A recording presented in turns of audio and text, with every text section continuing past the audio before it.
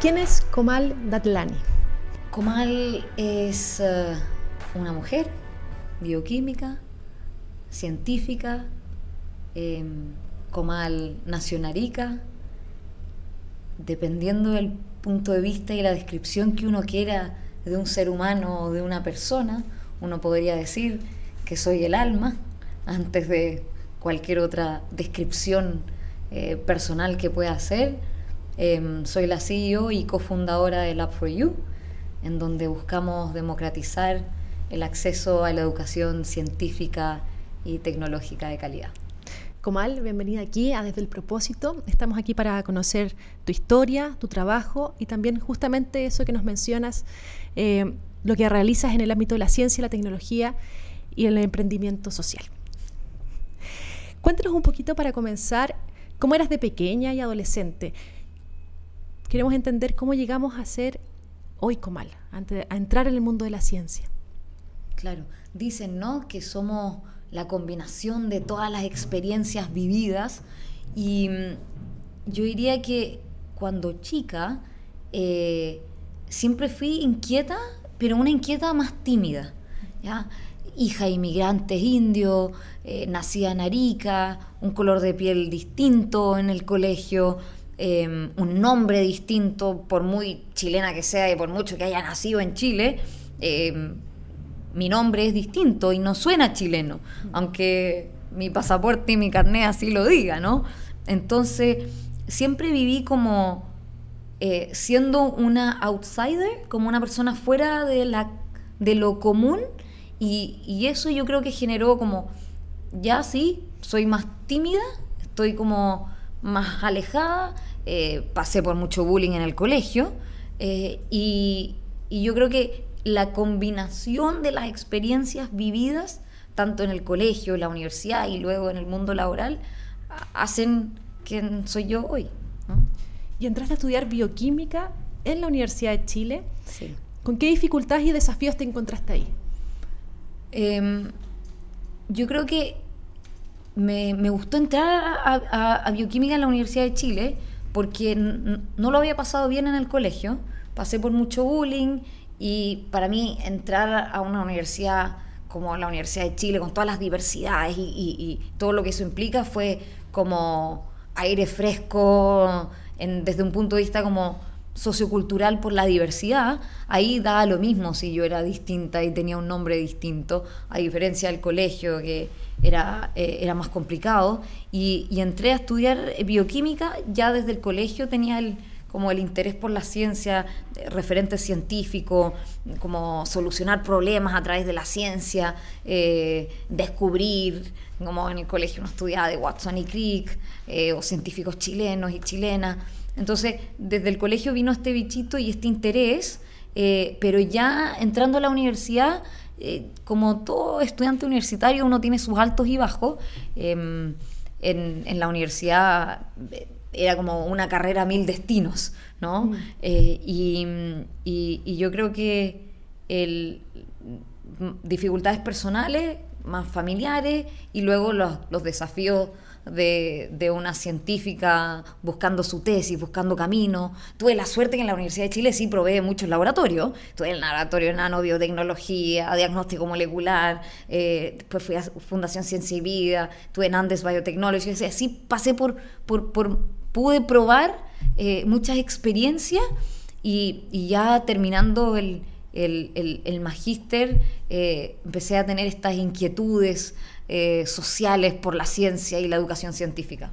Y de hecho, er, mujer estudiando bioquímica. En esa época no hablábamos del mundo STEM todavía.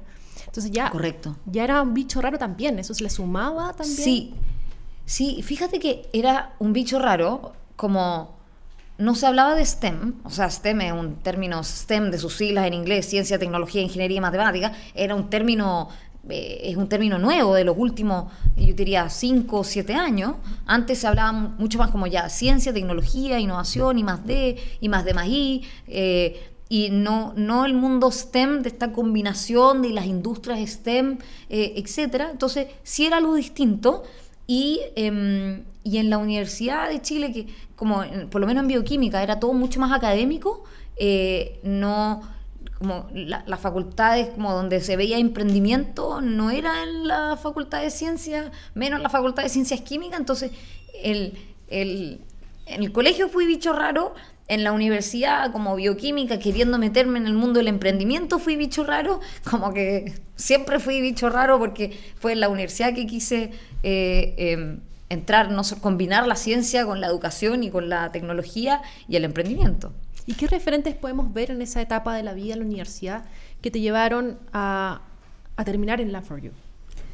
Sí, eh, tuve hartos referentes, yo creo, mis profesoras y, claro, uno veía los profesores hombres y científicos hombres como gran mayoría, pero sí tuve muy buenas referentes científicas mujeres, eh, premios nacionales de ciencia, que, que sí inspiran y tú ves y dices, oh, quiero ser como ellos, ¿no?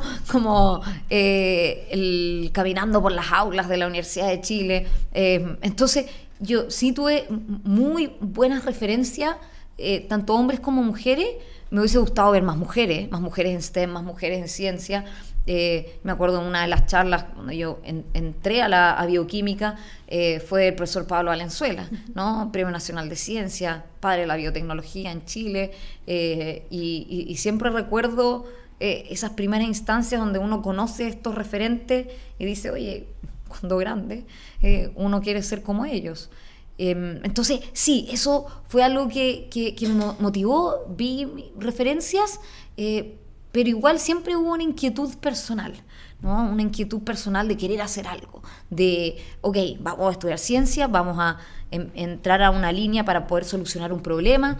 Eh, entré en los temas de diagnóstico molecular. Eh, con RNAs mitocondriales no codificantes, pero esa es otra conversación, ¿no?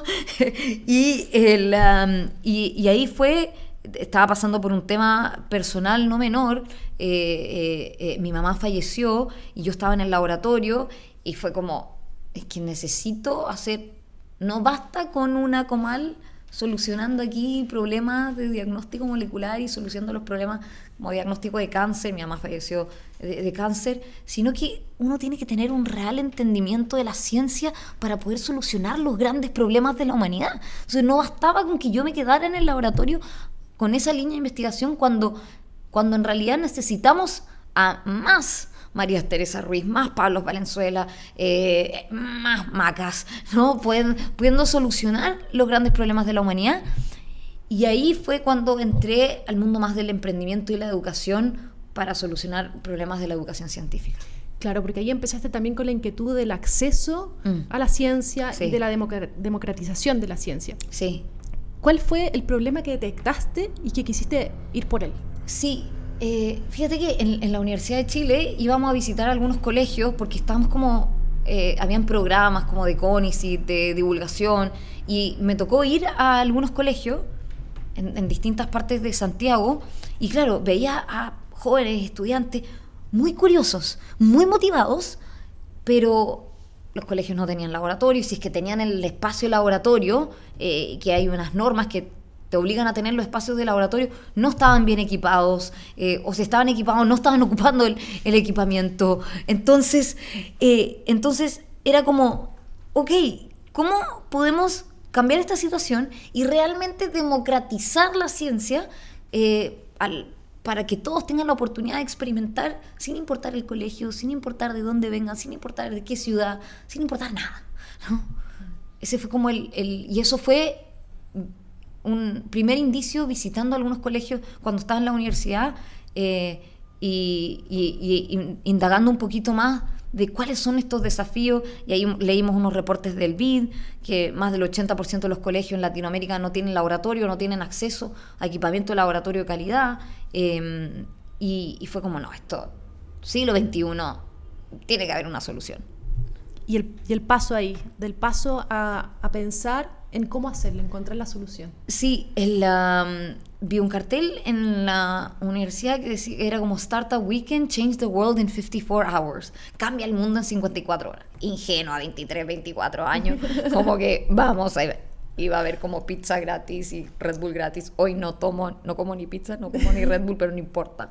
Fui a este, este evento y ahí conocí a mi socio, Álvaro José Peralta, eh, que estaba haciendo su magíster en informática, y vamos a este evento como de emprendimiento organizado por emprendedores de Startup Chile, y sin saber nada, yo no sabía lo que era una startup, o sea, ¿qué es una startup? Y hablaban como de VC, VC, yo era como, ¿qué fórmula química es VC? Vengo del laboratorio. Claro, vengo del laboratorio, como VC, como Venture Capital. No tenía idea, no tenía idea. Y eh, en este programa, en la universidad, era en la Universidad de Chile el evento, eh, dijeron, tienes que pitchar una idea que, y un problema. Y yo era como, ¿qué es un pitch? literal, estamos hablando hace 10 años. Y, ahí me empecé a meter en el mundo del emprendimiento y entra como el bichito del, del emprendimiento para solucionar un problema. Y yo ingenuamente dije, mira, un problema que yo he visto en mi realidad, en la universidad, en los colegios que están alrededor, etcétera, eh, el equipamiento laboratorio es costoso, difícil de mantener, renovar, em, las aulas no tienen este equipamiento y para aprender ciencia uno tiene que vivir la experiencia eh, de experimentar y uno aprende haciendo, eh, no solo a través de la teoría. Y, ahí en, en ese evento fue como, ok, empecemos algo para solucionar esto. Y la primera idea fue, ok, hagamos equipamiento de laboratorio de bajo costo. Esa fue como la primera idea. Eh, y así como con un Arduino, con un lente, un colorímetro, así.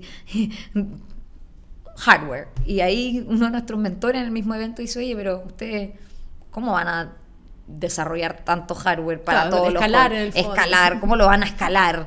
Yo como no sé. Eh, y ahí fue mi socio Álvaro con uno de nuestros mentores, Hans, que dijo, oye, ¿por qué no aprovechamos los celulares? Que en esa época eran más básicos. Estamos hablando de hace 10 años. años. 10 años, literal. O sea, creo que yo, yo, no tenía un iPhone, yo tenía un celular muy básico. Recién me había cambiado como de un BlackBerry. No sé cómo. Esa es la época. Esa es la época, ¿no? Esa es la época. Celulares muy básicos, eh, Android muy básicos y yo le, decíamos a las personas, ¿sabían ustedes que los celulares tienen sensores? ¿Qué? ¿Como el celular para la llamada? Sí, pero tienen sensores como el acelerómetro y el micrófono y el giróscopo. Eh, y la gente no nos creía. Entonces hicimos unas primeras pruebas para transformar el celular con los sensores del celular en instrumentos de laboratorio para que puedan experimentar. Y, y ahí fue como el primer, los primeros como indicios de el laboratorio en el bolsillo y la experimentación con los celulares y tuvimos todos nuestros altos y bajos en ese proceso eh, en, creación y desarrollo de, la tecnología. ¿Y cómo pasó de esta idea, en el fondo, eh, de la startup sí. a allá consolidarse y, y qué desafíos encontraste? Sí, varios desafíos. Déjame abrir el. déjame abrir aquí el listado. El, eh, no, desafío de, todo emprendimiento social. Eh, desafío de financiamiento, y ahí estaba Corfo, eh, desafío que en las mismas aulas, profesores y estudiantes como que, se creyeran, como que, que, profesores aceptaran que podían experimentar con los sensores del celular. Eh, no sé si ustedes han visto la curva de adopción de tecnología, que al principio early adopters son los innovadores, eh, son los que empiezan y nosotros estábamos probando, tocando puertas, profesores de Enseña Chile, profesores acá, profesores acá, y, probando, ¿no? Eh, muchas puertas cerradas. la primera versión de la aplicación era un desastre horrible, me da vergüenza, pero no importa. Pero desde qué punto de vista? Desde, desde todo punto de vista, desde todo, era feo en diseño, eran solo sensores, no habían experimentos, después diseñamos como experimento, hoy día tenemos como 200 experimentos en nuestra aplicación y al principio eran como solo sensores, después agregamos los experimentos y después como que ahora agregamos quizzes y evaluaciones, ahora como que está creciendo para poder eh, la experiencia con inteligencia artificial y todo, eh, pero al principio era era terrible. O sea, un, un, estudiante en una clase como que me bota así el celular, así como que no voy a hacer esto. O sea, de ese tipo de experiencia, ¿no? Y, y, long story short, con todos los altos y bajos, el 2018-2019, el BID, que es el Banco Interamericano del Desarrollo, eh, hablo con ellos y le digo, oye, necesito apoyo, qué sé yo, hagamos una evaluación de impacto para poder realmente demostrar el impacto del You. Porque no me creen. O sea, no somos suficientemente creíbles. No creen que esto de verdad ayuda. Que la, y a, pesar de tener papers que hablan que la importancia de la experimentación y de la indagación en el proceso de aprendizaje de la mm. ciencia, ¿no? Pero um, lo que hicimos con el BID es que hicimos una evaluación de impacto, colegios con Lab for You y colegios sin Lab for You, una, que se llama RCT, Randomized Control Trial, eh, que es muy común mm, tanto en los proyectos sociales ahora y, antiguamente y sigue siendo el gold standard de evaluaciones para ensayos clínicos, ¿no? pacientes con, pacientes sin. Y hicimos esto, colegios con la FRUYU, colegios sin la FRUYU, y lo que se observó después de toda una intervención eh, eh, en, los colegios es que de los indicadores que se evaluaron, había diferencias significativas en tres indicadores, entre el grupo control y el grupo con la For You y el grupo sin la For You, en conocimiento, en autopercepción del conocimiento, que tiene directa relación con la motivación y muy importante el interés por estudiar carreras STEM. ¿No? Yo pues, durante todo ese año gastritis, como sin saber lo que iba a pasar al final, hasta que al final un día me llama la evaluadora del BID, eh, Cristina Pombo, y me dice, eh, Comal, ya están los resultados. Y yo, como con el estómago apretado. Dios mío, ¿qué va a pasar? Porque si decía, oye, esto no tiene impacto, se cierra todo. Se cierra todo, nos vamos para la casa. Fue una experiencia muy linda y ya. Y nos dice felicidades, estos indicadores evaluaron, diferencia significativa en tres de estos indicadores, uno de los más relevantes para la región, el interés por las carreras STEM. Y fue como...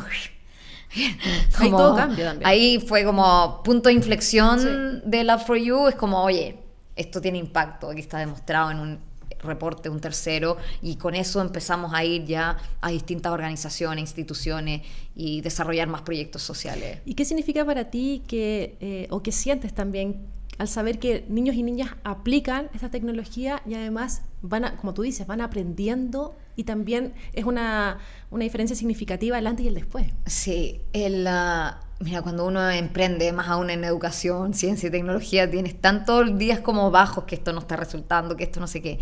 Pero ya cuando vas a terreno, vas a la sala de clase, estás con los estudiantes felices, ojos brillando, motivados, con sus testimonios, como que llorando así, yo como que me doy por pagada. O sea, no hay eh, no, hay, no hay dinero, no hay, no sé, no hay regalo, no hay nada que pueda con ese valor que uno ve en la vida de las personas, en la motivación de los estudiantes, los profesores agradecidos eh, y motivados con la experimentación y motivados con una experiencia de aprendizaje distinta. O sea, eso como que yo, yo le digo a mi equipo como no, no, no quiero alejarme porque la organización va creciendo, los roles van mutando y demás. Y yo siempre digo, no, no quiero alejarme de ir a terreno, no importa, siempre que tenga mucho trabajo, igual siempre voy a querer ir a terreno para poder ver eh, la expresión de los estudiantes y el sentimiento eh, que estamos agregando valor y mm. nuestro granito de arena en la educación Lo más científica. también para ti, para el alma, ¿no? Lejos. ¿cuál es tu sueño? Uf, mi sueño. Tengo muchos sueños. Pero em, si pienso más profundamente, como eh, quiero que mi vida tenga propósito. Trabajamos, trabajamos tanto, le, ponemos pasión, le ponemos cariño, le ponemos tanta energía con, con, este propósito. Quiero que, que lo que yo haga tenga un propósito y tenga un impacto. Y si yo puedo agregar valor a la vida de las personas, a la vida de los estudiantes, que puedan aprender ciencia.